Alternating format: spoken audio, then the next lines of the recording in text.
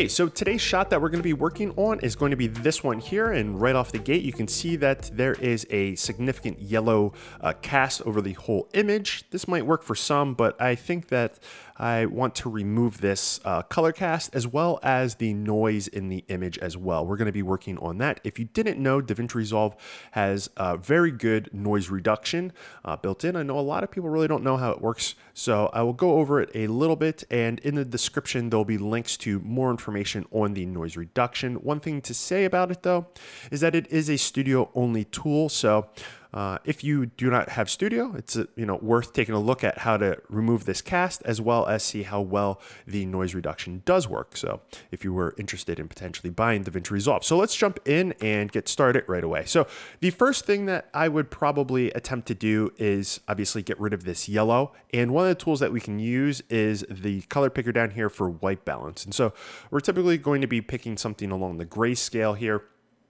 And I would say that these window frames are supposed to be white paint, right? So there's window frames and a door frame, probably white paint. So if I click in here, we can see that we are at in a very good spot. This is probably what it actually looked like, but there are a couple of issues here. And one being that if we take a look up in these uh, lights here, there is this blue hue and on the wall as well, as well as that same on the bridge of her nose and her forehead. So that is something that we might want to take a look at here. And it looks like this light here is a completely different color than the rest of them. But yeah, anyways, um, and we can see down here, it moved the temperature all the way to the max on the cool, and it also pushed the tint all the way towards magenta. So I don't really like to go to the edges of tools like that. So um, this might be something that I would want to pull back or potentially do a different way. But if you wanted to just do it this way, because this is quick and sometimes you don't have the ability to go in and make these adjustments and take a long time, you just want to do it quick. So one of the options we can do is just pull this blue out. And so if we wanted to pull the blue out, let's just make another node here, just holding Alt and then, or Option, and then hitting S will give us another serial node. If we come down here and we go into hue versus saturation, we're picking the color and we're changing the saturation in that color. Because this is the blue, I wanna pull that blue back a little bit, but keep the yellows and all the other tones that are there. And we can see that we have a little spike here in blue.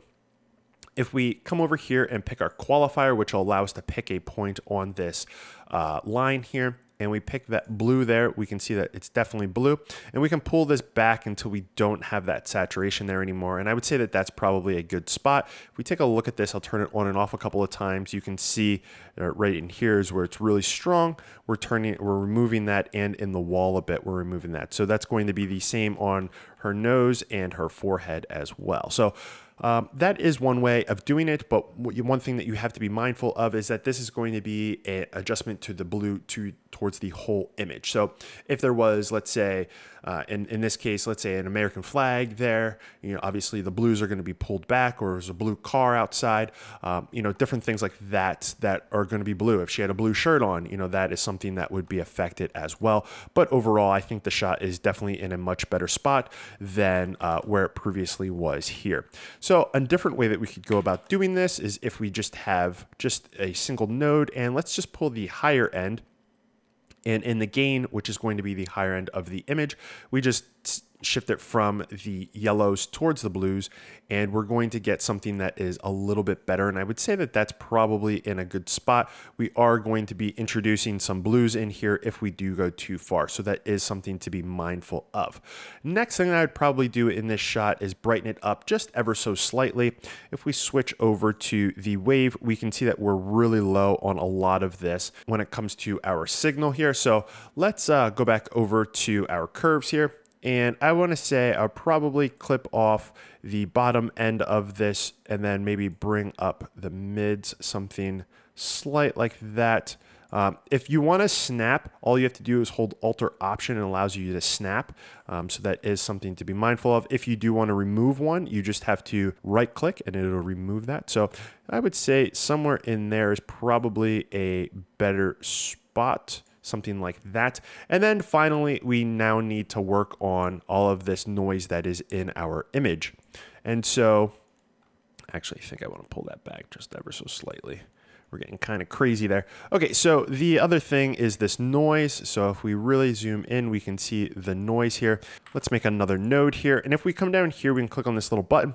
Down here is going to be our noise reduction. So there's two different types of noise reduction and there is temporal and spectral. And I'll quickly go over them. So temporal is the one that you're typically going to want to control first. And what that's going to do is it's going to look at however many frames you pick.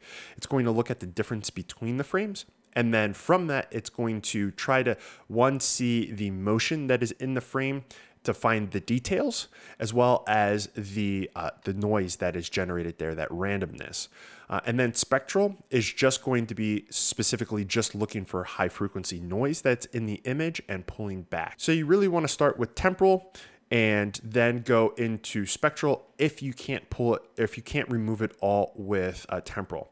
One thing to note with these is that you do have the ability or you do have the possibilities of adding in artifacts into the image. So I like to start with like a two and then down here we can uh, affect the luminance or the chroma for the threshold for when we're adding in this. And so we just bump this up a little bit and we can see that we're quickly starting to remove that quite a bit. And so I would say that there is probably a really good spot to be. That's with it off, that's with it on, as you can see there. Uh, you don't have to go too crazy to get a really good looking image. As you can see there, I think that is very clean versus having it off. Uh, this is with it off having it on. We can see up in here, it's looking really nice. Over here, it's looking amazing, to be completely honest with you. Um, so I think that that is probably a way better spot than where we previously were, which was this. And now looking at the difference between them, it's like, oh my. Um, so yeah, um, like I said, temporal, we're going to want to uh, add into here. Like I said, all these controls I have uh, in the description have a link going to detailed information on it all. I know that a lot of people, it's going to be too much to, to get in one video, but the idea here is that you want to work with temporal first if you're still having issues playing with those settings, then you can go into spectral, but you really want to be mindful of uh, potential issues that you're uh, uh, adding into the image when it comes to just artifacts in general. So that's pretty much how we would get this shot to look significantly better than where it previously was with just a couple of nodes.